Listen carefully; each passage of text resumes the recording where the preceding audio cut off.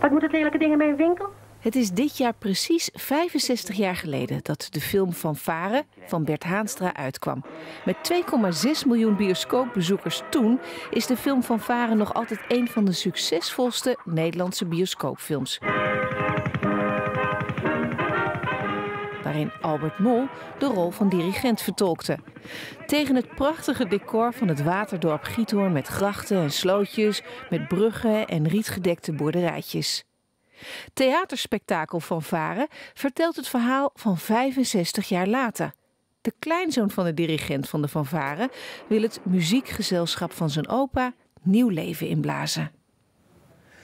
En dus dacht jij, daar moeten we het maar eens over hebben, over die Van Varen. Ja, nou het zit iets anders in elkaar. Toen wij in 2017, 2018 Storm over de Beulakeren met heel veel succes onze eerste buitenproductie in Giethoorn deden toen heb ik wel gezegd, als ik ooit weer hier op deze plek nog iets mag maken, dan moet het te varen zijn. Dat kan niet anders. Ja.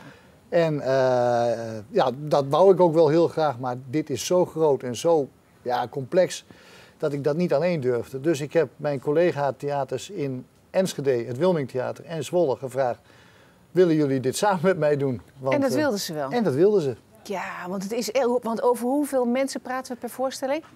duizend of duizend bezoekers en uh, de, ongeveer, ja, ik denk een man of tachtig uh, dat meespeelt. ja, want, want jullie hebben een koor, jullie hebben een professionele cast. Ja. Jullie hebben... Uh, een fanfare. Een fanfare. Uit hoeveel mensen bestaat die? 30. 30. Maar het zijn allemaal mensen uit de omgeving die meedoen? Ja, bijna wel. Ik denk ja, 90 procent. Maar behalve dan de cast natuurlijk, die, ja, die komt uit heel Nederland en dat zijn allemaal toppers. Waar gaat het verhaal over? Ja, het gaat eigenlijk over een kleinzoon die, uh, die uh, terugkomt naar Giethoorn of, en die komt voor de erfenis van zijn grootvader. Ja, en die bemerkt dan eigenlijk dat hij eigenlijk uh, vanuit zijn hart, vanuit zijn ziel, toch iets moet doen daar in het dorp. Want het gaat weer mis. Hè? Dus, Wat ja. gaat er mis? Ja, nou ja, wat er in Giethoorn wel vaker misgaat, is dat het op de ene dag goed is en op de andere dag slecht is. Ja, en dat uh, is ook in de muziek, uh, kan dat zo zijn. Dus uh, er moet weer wat gesleuteld worden en wat weer gebrouwen worden om de boel weer aan de praat te krijgen. En wat nou zo grappig is, is dat in jouw eigen historie de fanfare en harmonie ook een hele belangrijke rol speelt. Ja, een hele belangrijke rol. Ja, mijn vader was niet onbekend muzikus-componist. Schreef 600 werken voor harmonie en fanfare. Geboren in Gramsbergen, ook nog in Overijssel. Uh, ja, ik ben daar de zoon van. En dan is het wel heel bijzonder dat je, dat je nu de producent bent, de eindproducent van de fanfare. Ja, wat geweldig. Ja. En dus zoveel voorstellingen en zo'n mooie kast. Jip en Aniek, die uh, uh, spelen ook mee. Aniek, wat, spe wat speel je? Jip en ik en een vriend van ons, Jules, zijn met z'n drieën de professionele ondersteuning van het koor uit de regio dat meedoet. Oké, en wat doet het koor?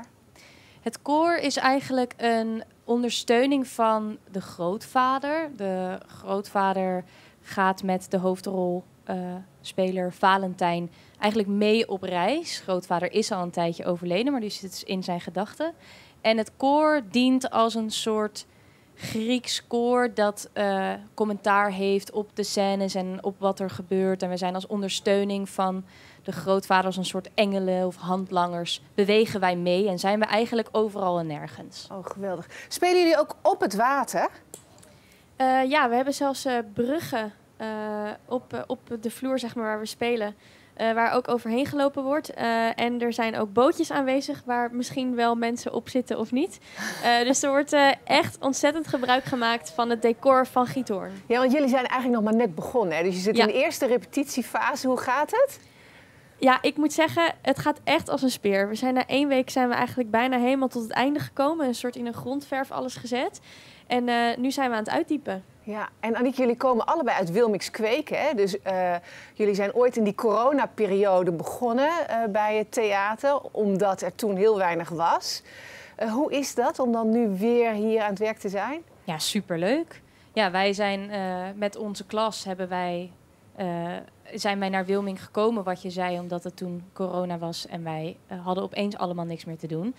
En het is zo'n fijne plek dat wij telkens weer om's de beurt eigenlijk wel weer terugkomen. Nu zijn Jip en Jules en ik dan weer even hier. En dan doet die weer eens een keer een projectje. En nu ook heel erg leuk met de Meente en Zwolse theaters Ja, in eh, combinatie. Ja, Willen jullie ons een stukje laten horen van het liedje? absoluut. Gaan we doen. Hoe heet het liedje? Eh, Giethoorn heet het Ah, liedje. hoe kan het ook anders?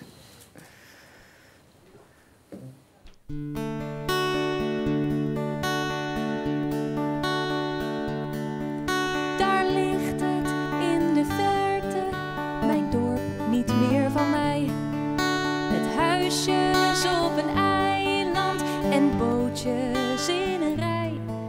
Met krap 3000 mensen en ieder kent elkaar. Hier heb ik dus gewoond, ja links ligt het. Kijk dan daar. Daar ligt mijn oude dorpje. Een kruidenier, een bloemist. Het dorpshuis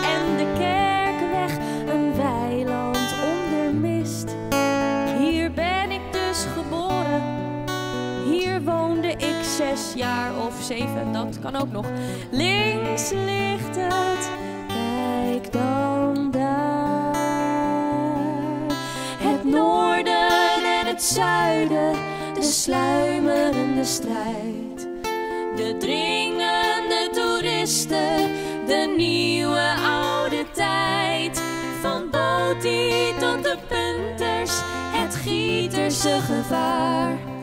Ze scheuren, roeien bomen, links ligt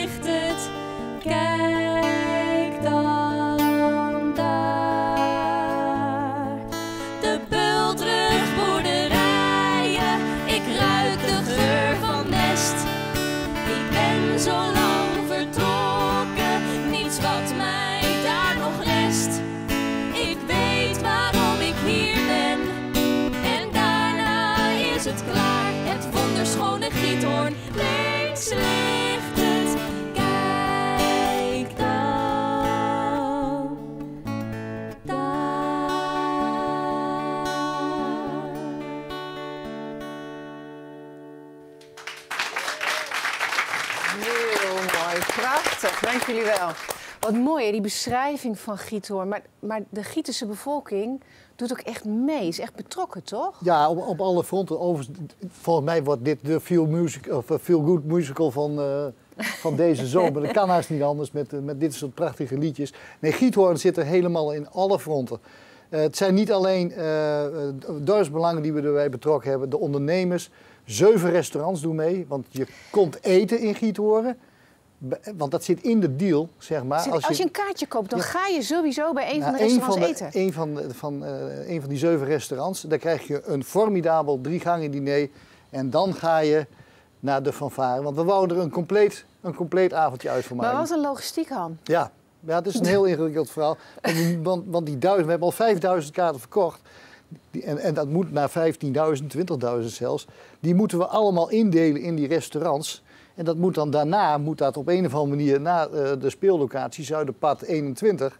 En eh, ja, eh, dan moet die voorstelling gespeeld worden. Dus het, het- je- sommige moeten nog met de auto, sommige met de boot.